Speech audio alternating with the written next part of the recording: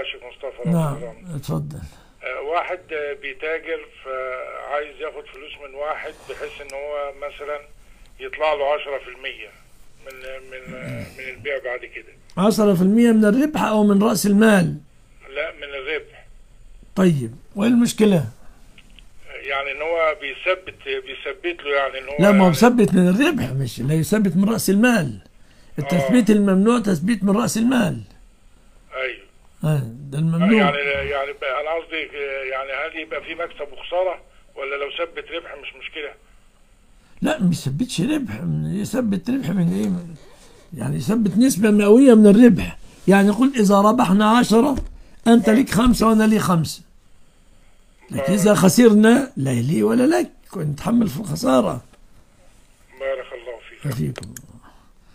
بارك الله فيك يا شيخ مصطفى الجوهري يا كمال بن علام بارك الله فيك لكن لا تنظر النظرات الشديدة كذا يا كمال بن علام تخيف الناس.